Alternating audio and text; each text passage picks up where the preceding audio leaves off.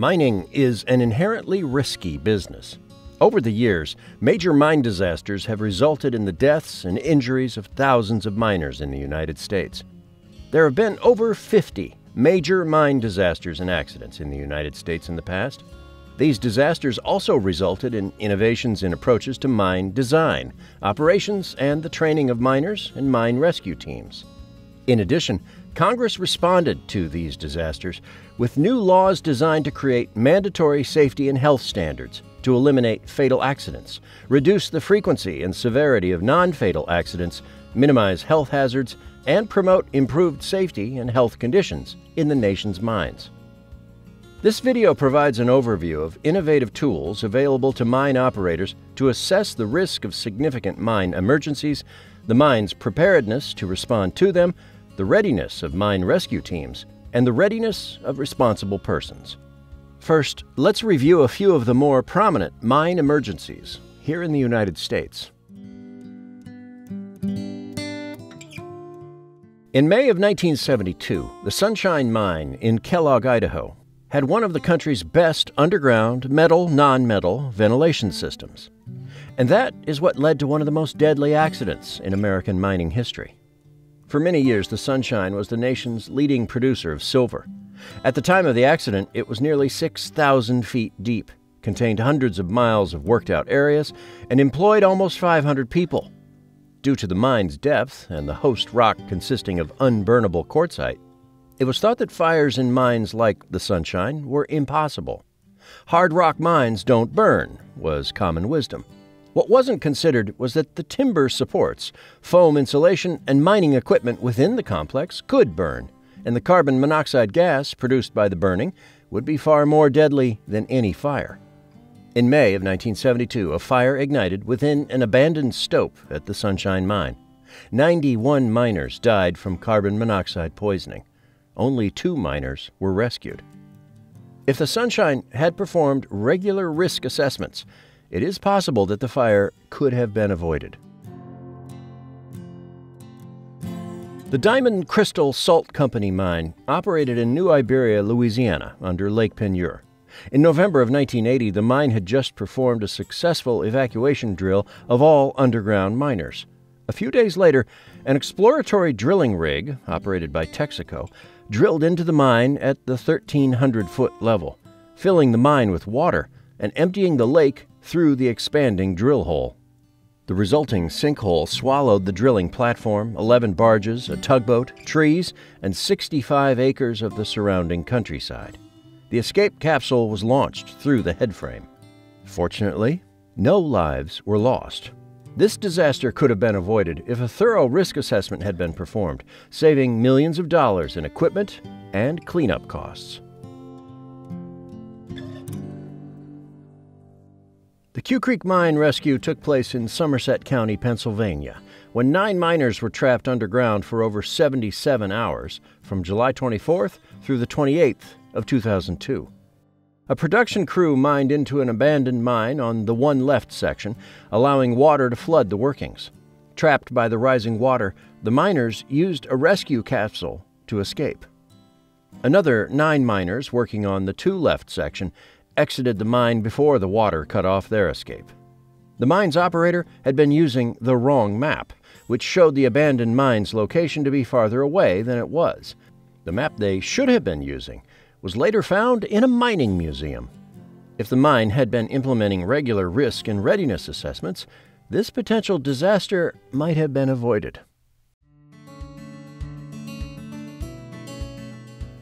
Following a mine emergency preparedness and response holistic gap analysis in 2012, the Mine Safety and Health Administration, or MSHA, identified the need for development of risk and readiness assessment models for MSHA and the mining industry. MSHA's objective was to evolve existing theoretical concepts for risk and readiness assessment into simplified tools that the mining industry could apply for use at operational levels.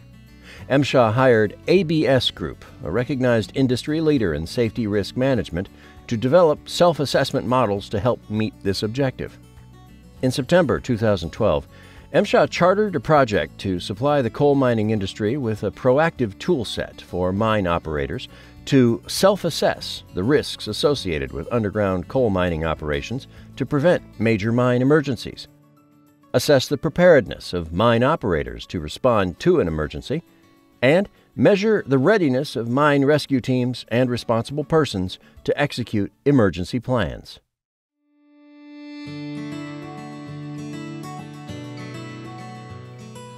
MSHA called for the development of four separate models.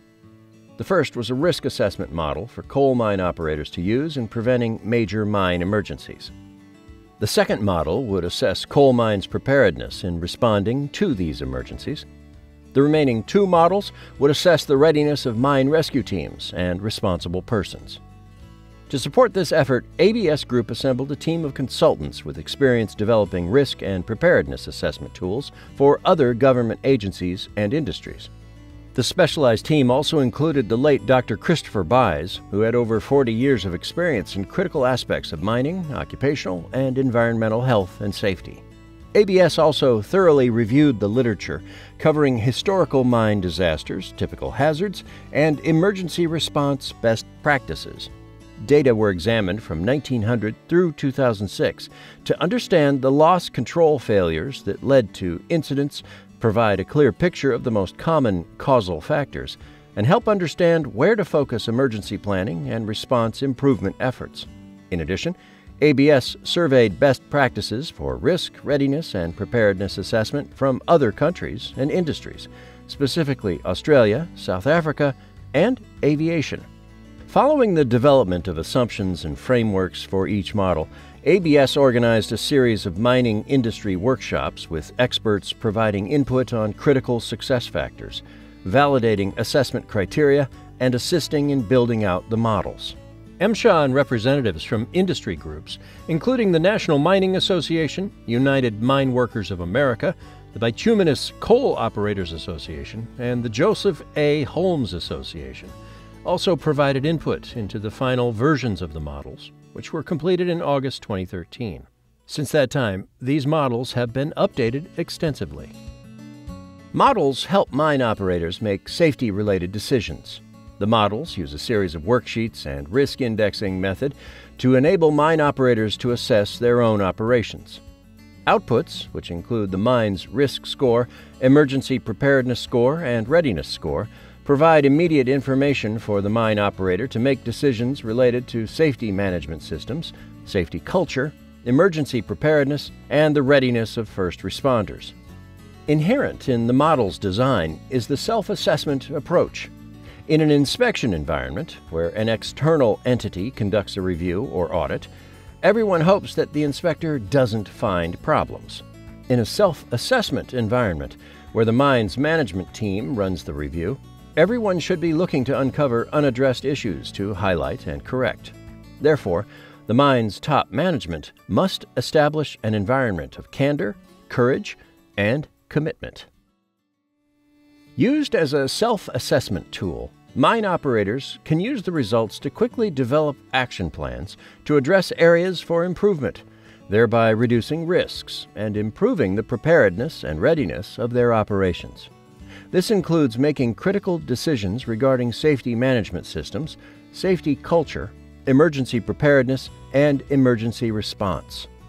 Operators can also develop action plans to address areas for improvement, thereby reducing risks and improving preparedness and operational readiness. There are several benefits to utilizing the risk assessment and preparedness models. They range from ensuring compliance with regulations to making important improvements at your mine, thereby giving you an awareness of potential risks and your mine's level of preparedness to deal with those risks. These models will help you become an industry leader in prevention and response, and possibly lead to reductions in insurance rates. You will gain insights into your spectrum of risk, including how it may change over time and shed light on what actions could improve your mine's risk profile. Most importantly, these models will make your mine safer. No one can stop all incidents from occurring. You can't prevent all disasters. But if something happens, and you knew of an issue and didn't address it, you are in trouble. With an inspection, everyone hopes that the inspector doesn't find problems. In an assessment, everyone is looking for unaddressed problems to highlight and correct. These models are designed to be a self assessment, not an external inspection by the government. You are looking at your own organization with a critical eye toward discovering problems and developing action plans to correct them. This helps to prevent a major mine disaster, ensuring preparedness and readiness if an event occurs. Specifically, the self assessment approach enables a mine operator to identify problems that are often overlooked, bring together people who know the most about the mine, rely on the judgment and experience of the mine's management team to develop action plans, provide a track record of continuous improvement, discover industry best practices and common problems, increase the confidence of mine managers in preparedness, and reinforce the belief that you have done all you can do to prevent a mine disaster. The models are also an opportunity to discover and share best practices, increasing the confidence in your management team's preparedness for emergencies. The criteria for assessing factors in over 200 areas of mine operations breaks down into a simple score, with green meaning you are good to go compared to industry standards, yellow meaning you are making progress but there's still more to do, and red indicating that there is serious work that remains to be done. Any red scores are a top priority for management. During the assessment, information from the mine management team is compiled into the models, which are then used by the team in developing and implementing action plans. One of the safety managers at a mine we visited said that this assessment provided their safety training agenda for the next year. The self assessment process generally takes one and a half to two days initially, with subsequent assessments taking less time to complete. Self assessments should ideally occur once every three to six months. The participation of several mine personnel is critical.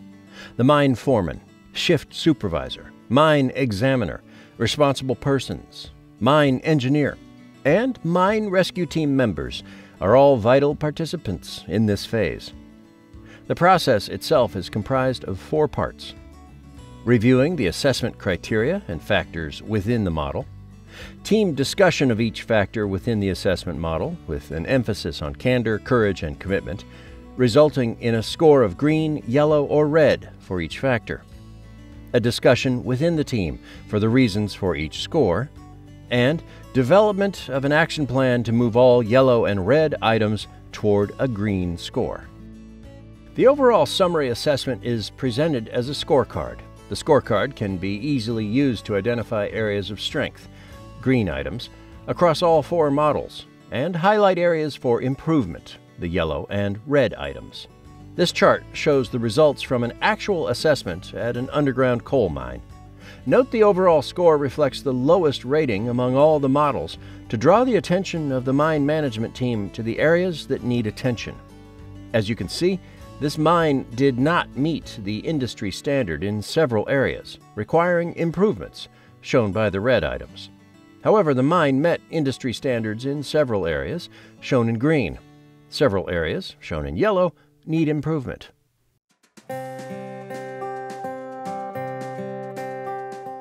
Another powerful feature of the self assessment model is the ability of a company to identify trends among mines.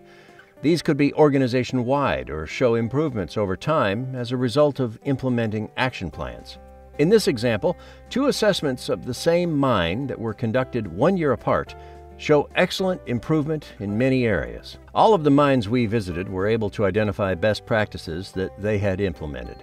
These could be shared through forums such as this to improve safety industry wide. Some examples include an informal implementation process which results in quicker approvals and completion times.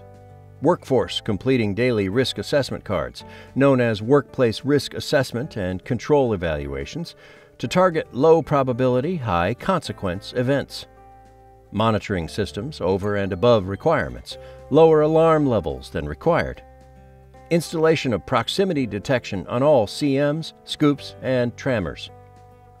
A level of team training and equipment readiness that exceeds industry standards. acquisition of the latest wireless communication and tracking systems for emergencies, and strong succession planning for company employees. Miners who have participated in these assessments were impressed by the dialogue inspired among the workforce, making them think about things that had been taken for granted. They found that the focus group environment fully engaged mine management and staff through the process, producing new understandings and insights about their preparedness to reduce risk further. Participants are able to engage on substantive issues with each other, dealing with real issues within mines. Everyone had equal input, increasing buy in from the team. Mine management and staff's overall self awareness increased, helping to limit risk and reduce insurance costs. As GCC Energy's Vice President Trent Peterson noted, it is critical to have a broad, thorough, and objective measuring stick to assess risk readiness, identify gaps, and develop action plans to either maintain or improve performance. For those of us in a position of responsibility in a complex organization, this type of tool provides an objective audit to assure senior executives, board members, and owners that systems are in place to evaluate risk and readiness. We've explained the need for risk and readiness assessments in the mining industry and shown how the assessment process is implemented and the benefits that mine operators have experienced. Consider performing a self assessment at your mine.